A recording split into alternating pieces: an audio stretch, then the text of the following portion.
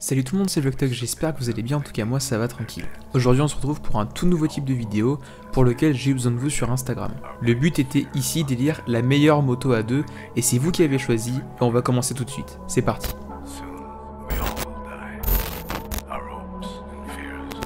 Avant de commencer, il faut savoir que pour structurer un peu la chose, j'ai décidé de créer trois catégories. En premier lieu, vous avez choisi le meilleur moteur pour un permis à deux, puis le meilleur type de moto pour un permis à deux, que ce soit sportive, roadster, supermoto ou par exemple trail, pour terminer sur le meilleur modèle de moto que vous pourriez conseiller à un à deux selon vous.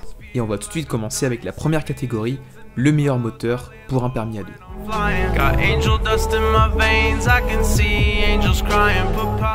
En ce qui concerne la catégorie des moteurs, il faut savoir que j'en ai choisi 4. Le mono, le bi, le 3 cylindres et le 4 cylindres.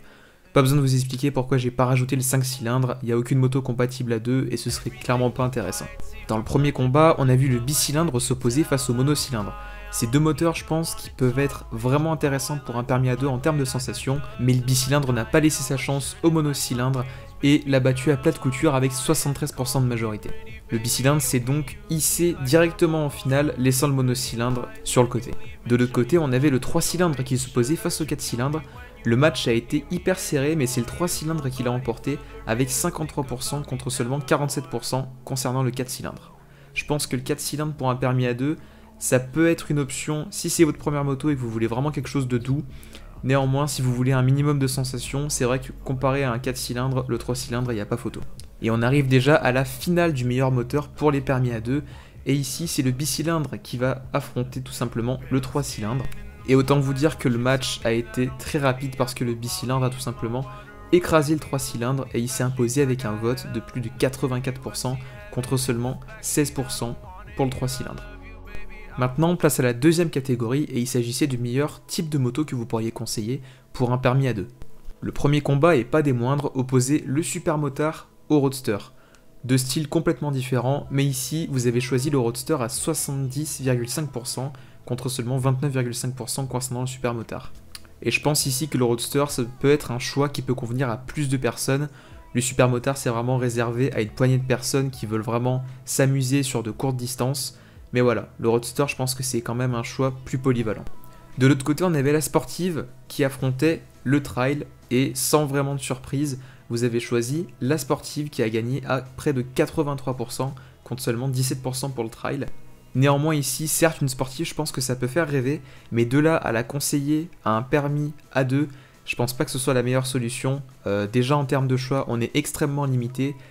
Et au niveau des assurances, je préfère même pas en parler. Si vous choisissez une sportive en moto à deux, vous allez vous faire allumer. On avait donc notre finale qui allait opposer le Roadster à la sportive. Et ici, le Roadster s'est largement imposé avec plus de 63% de votes contre seulement 36 concernant la sportive. Et je pense que le Roadster, voilà, c'est vraiment le choix le plus polyvalent qu'on puisse faire. Et du coup, c'est ce qu'on peut conseiller à un maximum de personnes. Et enfin, la dernière catégorie qui n'est pas des moindres, là je vous ai demandé de choisir tout simplement le meilleur modèle de moto pour un à 2. Et vous avez été plus d'une cinquantaine à me soumettre votre réponse, et on va tout de suite en regarder quelques-unes maintenant. On a ici Silex Moto qui nous dit une Solex Moto Bécane kit 180 mal aussi, Nose Turbo. Ça peut être cool, mais après, à deux ou pas, je pense pas que ce soit bien adapté pour la route. Ensuite, on a Vincent qui nous dit que le bicylindre de l'AMT est joueur à bas régime et qu'il est démoniaque à haut régime pour un 47.5. Je suis entièrement d'accord avec toi. Ensuite, on a Luc XX qui nous dit qu'il a choisi la MT-07. Et ici, un message de Lefada. Euh, j'ai tenu à le passer dans la vidéo parce qu'il passe vraiment un message qui, je pense, est important et qui peut être décisif pour pas mal d'entre vous qui veulent acheter leur première moto. Donc il nous dit ici qu'en fait la MT-07 était une moto qui dépassait complètement son budget, mais que c'était une moto qui lui plaisait, et il a donc pris la décision en fait d'attendre pour avoir le budget nécessaire et ainsi pas prendre une moto de dépit et vraiment avoir ce qu'il voulait. Ça vraiment je vous encourage à faire exactement comme lui, il faut pas prendre une moto. Pour prendre une moto, prenez ce qui vous plaît, quitte à travailler un bon moment, et voilà, l'important c'est que vous soyez heureux. Ensuite, on a Mathias Gallet qui nous dit la CB500F qui est parfaite pour le A2, qui est du coup non bridée parce qu'elle ne dépasse pas les 47.5, qui a un look sympa et qui est idéal pour un débutant. Je suis entièrement d'accord, la CB500F si vous êtes sur le point d'acheter votre première moto et que vous n'êtes pas forcément à l'aise, voilà, que vous avez besoin vraiment de vous faire la main en ce qui concerne la conduite d'une moto, je vous conseille vraiment la CB500, tout ce qui est chez Honda, parce que le bicylindre est vraiment hyper doux et vous aurez ainsi peu de chances de vous faire surprendre. Ensuite, on a Freas Player qui nous dit la MT-07. Passion Enduro qui nous dit encore une fois la MT-07. Et là, on a affaire à un commentaire. euh, vraiment, je, je connaissais vraiment pas du tout le modèle de la moto. On a Julien qui nous propose la Suzuki 650 Freewind. Euh, je vous mets une photo maintenant. Je savais même pas que ça existait. Et franchement, euh, bah, je viens au moins d'apprendre quelque chose. Ensuite, on a Maxence qui nous conseille une MT-07 ou un Bandit 600. C'est vrai que le Bandit, je pense que ça peut être vraiment une excellente alternative pour ceux qui n'ont pas forcément le budget d'avoir une MT. Euh, c'est un 4 cylindres, donc ça marchera un petit peu moins fort. Mais si vraiment vous avez un budget limité, c'est une moto qui est tout simplement increvable, qui a une bonne gueule, malgré qu'elle commence à dater maintenant. Et vraiment, je pense qu'elle a encore de beaux jours devant elle. Ensuite, on a Julien qui nous propose la CB500X. Donc ça, faut savoir que c'est la version euh, trail de la CB500F.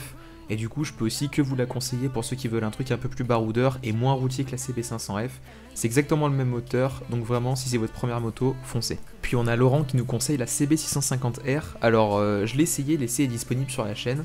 Et franchement, j'avais bien aimé. Euh, pour un 4 cylindres, ça marche pas trop mal. Il manque un peu de pêche, mais bon, voilà, c'est quand même un 4 cylindres, donc on peut pas trop lui en demander.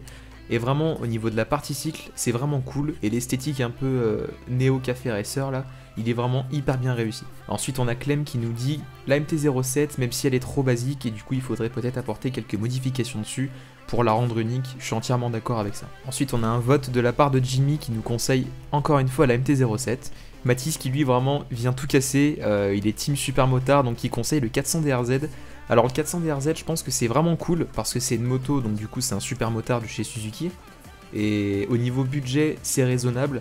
Après faut faire attention parce que sur le bon coin il y en a quand même pas mal qui ont pas mal ramasse. Et je pense que si vous trouvez par contre une occasion propre d'un 400 DRZ, euh, foncez dessus parce que franchement ça devient de plus en plus rare de belles occasions je trouve de 400 DRZ. J'avais regardé un peu quand je voulais un super mote.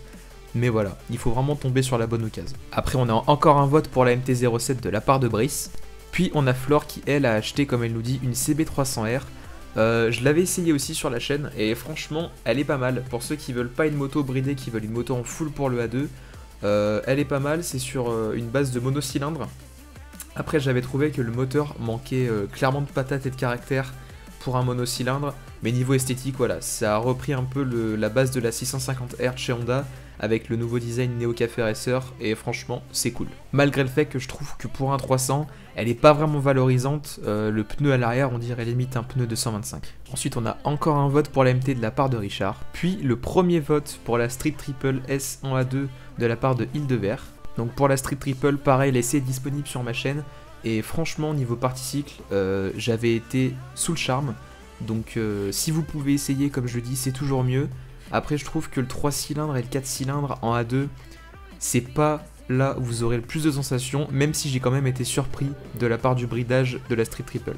Ensuite, on a un beau message de la part de Nerol qui nous dit qu'il faut simplement prendre la moto qui nous fait kiffer, que ce soit 1, 2, 3 ou 4 cylindres, peu importe, et je te rejoins sur ce point-là. Puis on a Jules qui nous conseille la GSXS 750.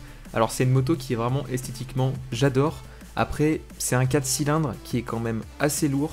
Et déjà que les 4 cylindres en A2 ont un peu de mal, je pense que le fait que ce soit une moto qui est quand même assez lourde et mastoc, euh, que ce soit à manœuvrer déjà pour un jeune permis à l'arrêt, il faut quand même avoir un minimum d'expérience. Après, c'est sûr que niveau esthétique, on peut pas vraiment lui enlever grand chose. Elle est magnifique. Ensuite, on a un deuxième vote pour la Street Triple de la part de Bikelife77.